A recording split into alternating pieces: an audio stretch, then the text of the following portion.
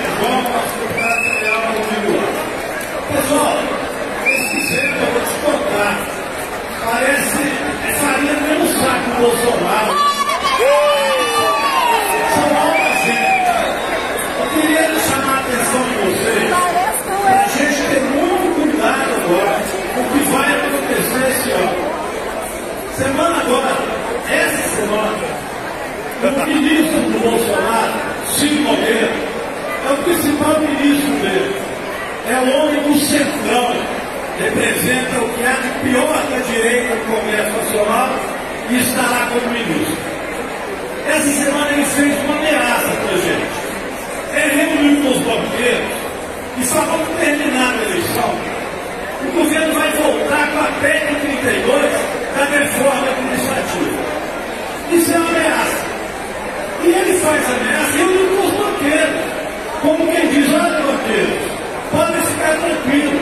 Se o Bolsonaro ganhar a eleição, se nós eleger muita gente no centrão, quando chegar depois do culto, nós vamos vender de novo o serviço público, privatizar e acabar com a prestação de serviços da educação, da saúde e assim por diante.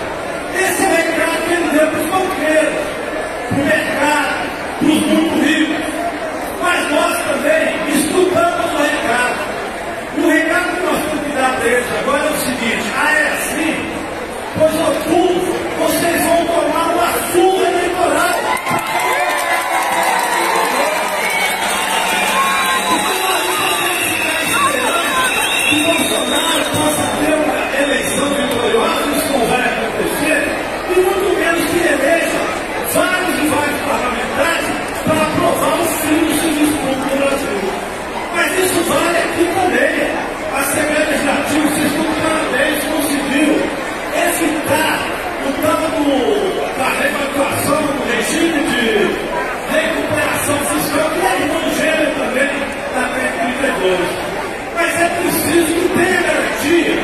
de que isso não volta.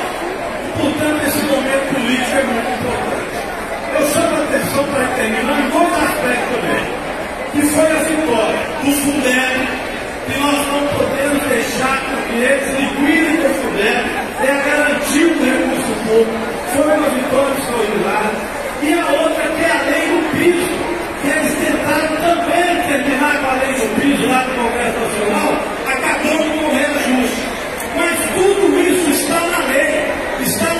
Constituição. O é governador fora da lei. E o Tribunal de Contas do Estado disse claramente: não existe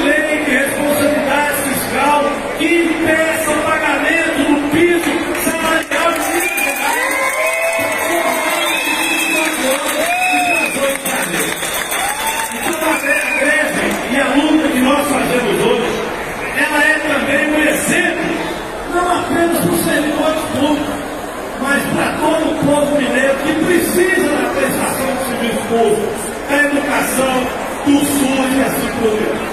Me permitam, pessoal, fazer uma homenagem também, porque nós estamos em março. Março 31 hoje é uma data que nós não temos nada a comemorar. Foi a data que se instituiu no Brasil a ditadura militar, a falta de liberdade. E ontem, no Congresso Nacional, na Câmara, nós fizemos uma homenagem ao arbítrio. Fizemos uma homenagem para queria estender a todas vocês mulheres que estão aqui.